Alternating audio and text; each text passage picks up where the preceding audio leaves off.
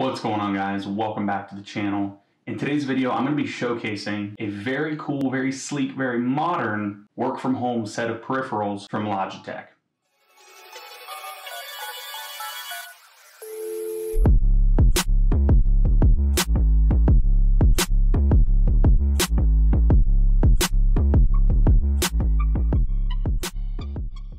First off, let's talk about why you would want a small, compact set of peripherals. In my case, my wife works from a MacBook Pro exclusively and wanted a good feeling keyboard and mouse combo that would allow her to put her MacBook up on a stand, keep it at eye level, and then she could use the keyboard and mouse to edit instead of using the keyboard that's on the MacBook as well as the trackpad. So that brings me to kind of my first use case, which is if you just have a laptop. If you have a laptop and you work from home, you do photo editing, video editing, whatever the case is, and you're just looking for a sleek, compact mouse and keyboard option, then the Logitech series that I'm going to showcase today could be a perfect option for you. Now, I know everybody's going to be like, well, Cole, why don't you just look at like a 65% keyboard or a 60% keyboard? But the problem with those is that a lot of times they're missing a lot of keys, such as function buttons, as well as arrow keys, which was a huge thing thing that my wife needed. Enter the Logitech K380. Now the K380 is a small, slim, and compact wireless keyboard that works for both PC and Mac. Now asterisk, as you can see on the box, this is the for Mac version. Now, if you get the regular K380, it should work with both. However, this has all of the dedicated Mac OS keys already on it. And with that, let's talk about connectivity. As this version of the K380 only has Bluetooth. It doesn't have any sort of adapter or anything like that, which is okay because you're not going to be gaming or doing anything crazy intensive on a keyboard of this stature, so Bluetooth works just fine. Now, when I say this thing is small, I mean this thing is small. That's what she said.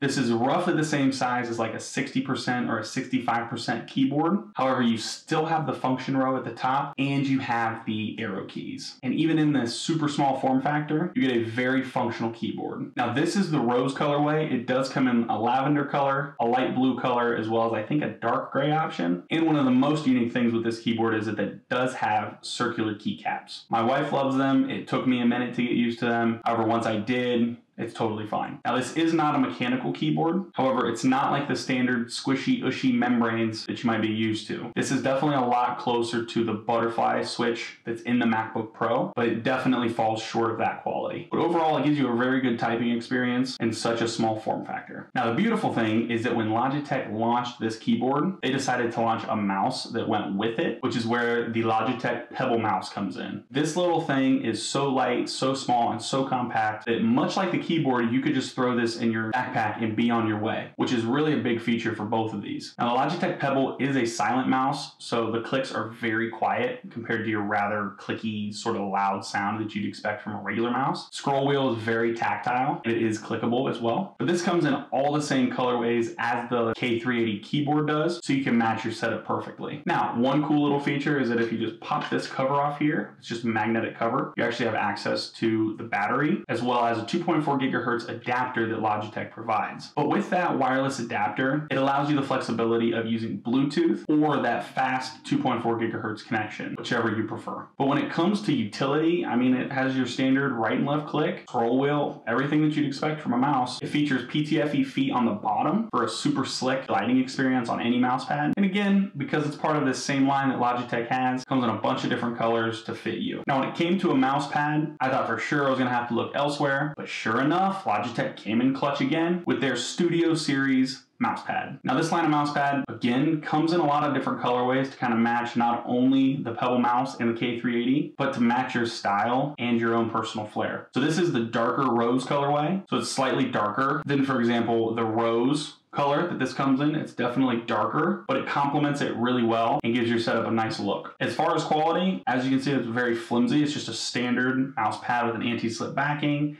and then on the front, it is pretty silky smooth and offers a very good gliding surface. Now, if you're like, Cole, it's 2022, I want a huge mouse pad, I want a desk mat, they offer that. Out of the same Studio Series lineup, they have a full-size desk mat that can fit your needs. And again, it comes in all the same great colors that the mouse pad does. But as far as being a great setup to use for work from home or on the go, I want to show you a little bit of these peripherals on my wife's desk, kind of give you an idea of how you could use it yourself.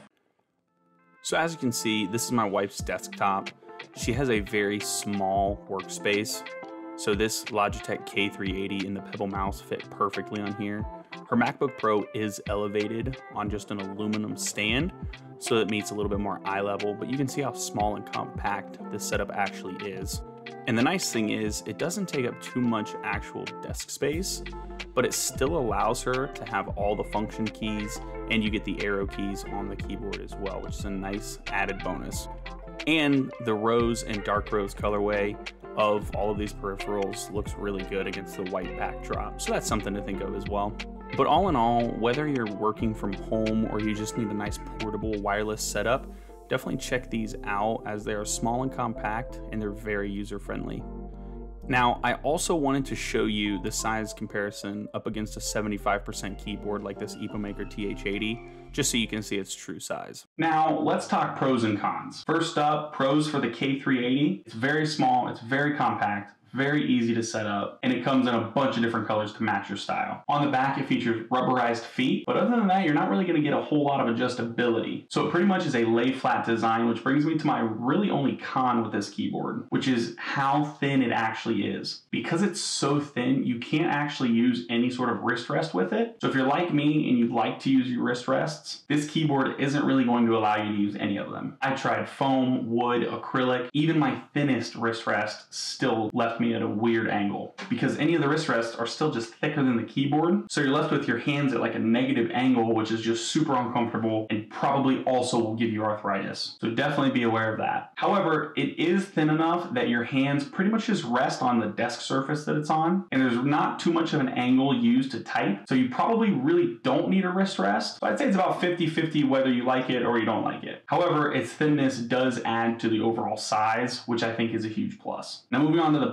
Mouse. Pros for it are that it's very small, very lightweight, and portable. And really the only con that I have with this mouse is that if you're like myself and you have a little bit larger hands than the average person, the ergonomics of it feel a little strange. But again, it is supposed to be just a small, compact, portable mouse. So it's not gonna be something that's like super heavy on the ergonomic side of things. It gets the job done and it gets it done well. And lastly, pros and cons of the mouse pad. First, let's start with the pros. It's a mouse pad and it comes in a color that complements the other peripherals from Logitech. It does have a silky smooth glide surface and this anti-slip back never had it move on me once in all the testing that I did. But what are the cons? Well, there really are none. It's a mouse pad, it works like a mouse pad, and it comes in cool colors. What's not to love? And lastly, let's talk about price. The K380 Mac only variant that we got comes in at $39.99, which is a great price for a wireless keyboard. The Pebble mouse comes in at $29.99, which again again is probably on a little bit more expensive side for a travel mouse compared to some of the other cheaper options from Logitech even. However, this mouse definitely isn't low on quality. Now, what about the mouse pad? Well, this little guy comes in at $9.99. If you'd rather opt for the larger Studio Series desk mat, that's gonna run you about $20. But that's pretty much it. If you're looking for a very small, compact set of peripherals that you can use to work from home,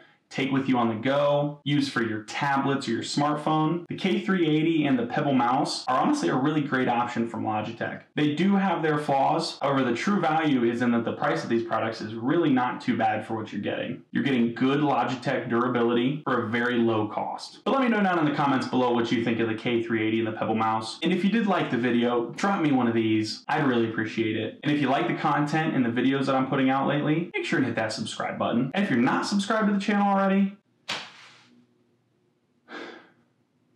just don't know what to do anymore. What are you doing? Thanks for tuning in, and as always, stay happy, stay healthy, peace.